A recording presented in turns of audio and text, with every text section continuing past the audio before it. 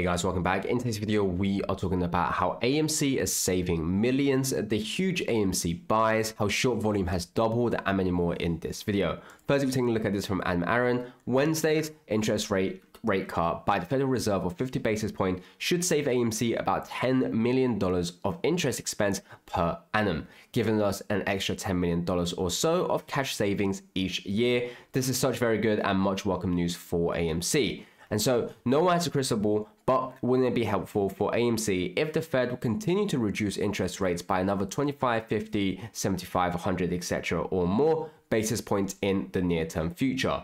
Each such 25 basis points Fed rate reduction could save AMC another approximately $5 million of cash interest expense per year as well. So obviously this is very good news. And we talked about how freeing up cash for AMCs has multiple different purposes. Firstly, by freeing up cash, it means that we have obviously more cash to either invest in more revenue streams or pay off the debt. And that itself is something that's already good. And everyone's focus has been on the debt issue. So the very fact we are saving up more cash means we can pay off more debt. The second thing is obviously understanding that by having more cash, we are seeing how AMC is going to survive longer. All these talks of how AMC is running out of cash, yet we're seeing AMC do all of these things that are saving them cash, that are generating them cash, these are all things that kills the short thesis. And this is what we are seeing right now. We've recently talked about, of course, the restructure of debt with AMC and how that's already saved millions of interest as well. And now we're just seeing this on top.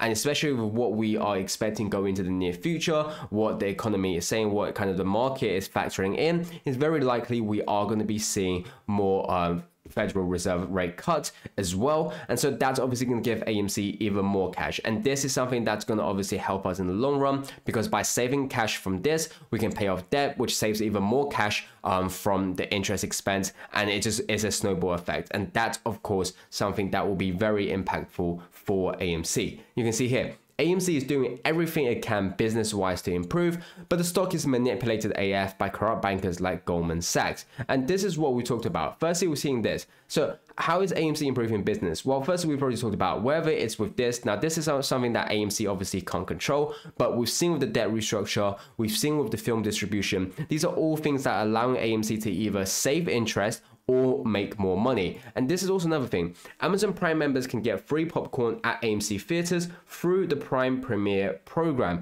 where Prime members can get a free small popcorn and small drink at the theater with the Prime Premiere ticket. Now, this is obviously something that will boost the overall sale, the boost the overall traffic going towards AMC. And like I said, these are the things that is helping AMC. We talked about recently, we've seen many news with AMC, and we talked about how in particular that these news on their own isn't something that's going to suddenly allow AMC to squeeze. But one by one, these things are what's adding on to the factor of how we can see the squeeze. Because of all of these things coming in together, we're allowing AMC to obviously grow even bigger. And by growing bigger, what we're doing is that we're beating the short sellers. We're keeping them trapped and we're seeing them having to put more money to create more synthetics, having them to be more over leveraged in order to suppress AMC. And another thing you can see here, this here's why investors should retain AMC Entertainment stock right now. And this is a news article that we are seeing. So it's very surprising to be looking at this, but you can see and understand why they're saying this.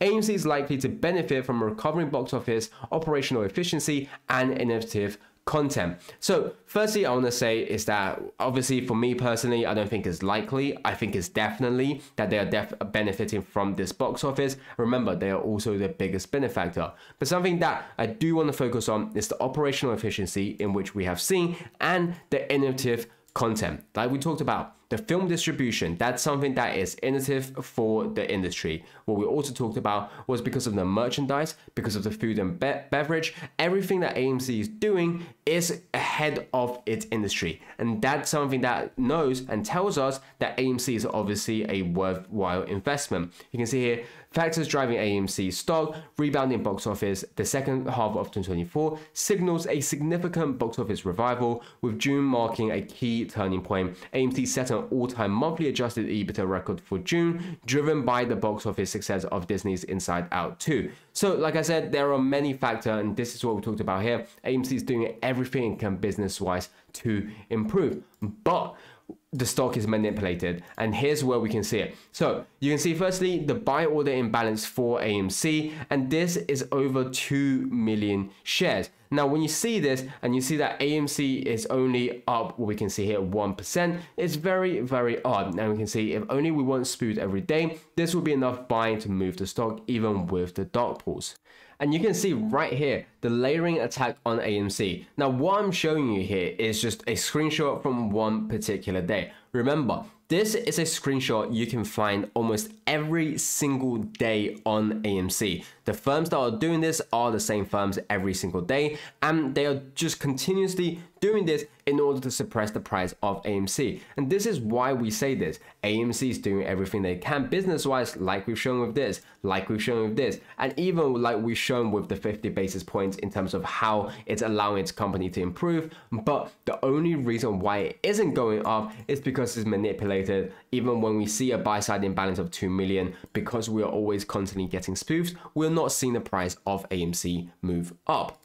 And another reason you can see this is you know shit's about to get real when short volume starts blasting off. And you can see that AMC's short sale volume doubles and we're up, we're plus 125.89%. And this is what we're seeing. So like I said, you will see many, many factors in terms of what's affecting AMC, what's um, you know, stopping the growth of AMC in terms of showing and mirroring its actual um, real value, you know, what's, um, what's manipulating, what's suppressing, not allowing us to actually grow. These are all the reasons why. And this is why we talked about the very fact that they are doing this shows that they're obviously worried about AMC. It shows that they're scared about AMC and that they need to continuously suppressing this stock. You know, another big thing you can see more big orders coming in for after hours for AMC, and you guys can see here the 350,000, 2.21, 116, 113, and this is something that it's obviously becoming more and more common right now, where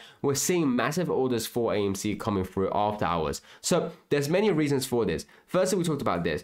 This is because people firstly realize that AMC is just a good investment. As always, none of this is ever financial advice, so do take a grain of salt. Make sure you do your own due diligence and research. But like I talked about, people understand that AMC is a good investment. And evidently, we can see that because when you take a look at whether it's the retail ownership uh, from the OBV, wherever you take a look at the institutional ownership from the filings, you can see that they are all going up, meaning that people are not selling AMC, are in fact only buying in to AMC. Secondly, the reason why they're doing it after hours is because they understand that they don't want to affect the price. What we have right now is a series of bad actors where potentially some are buying into AMC because they want to lend out the shares to their fellow short sellers, and some just doesn't want to affect the price because they don't want to affect the fellow short sellers. And so this is what's obviously very worrying and impactful for AMC. But like we've seen with the dark pool, like we've seen the after hours, the very fact we are seeing that buy orders are coming in shows they understand the potential of AMC, shows they understand the value of AMC. And for now, that is enough for us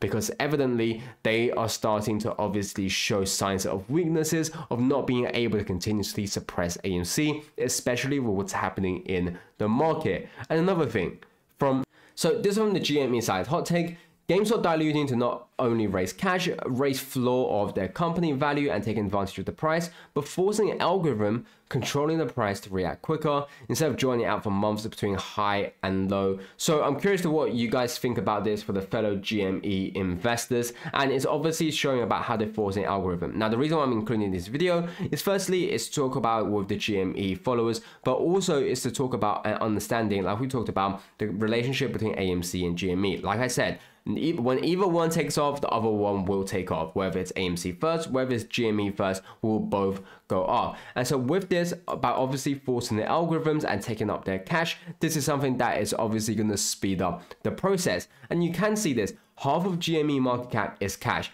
FYI, 30% of Berkshire Hathaway market cap is cash, and this usually signals Warren is preparing for a shopping season when he believes stocks will start being available at deep discounts on valuations not far in the future. And so we talked about it's very, very dangerous for GME to have so much cash in um, hand right now, especially with no debt because they don't they're not doing anything that's eating into their money kind of quite big. Obviously, they still got their normal expenses, but the 4.2 billion and that is sitting in the bank that is collecting interest is something that it's already doing very well, especially understanding the opportunities that are about to be upon us. If GME is able to use their cash, their $4.2 billion of cash correctly, and they put it in and allocate it in the right places, they obviously are able to make huge returns, which then allows them to grow even bigger.